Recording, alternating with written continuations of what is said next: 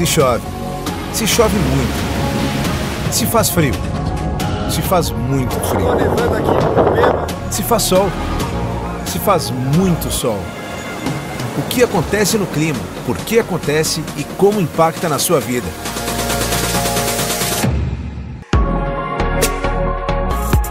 O que interessa para Santa Catarina?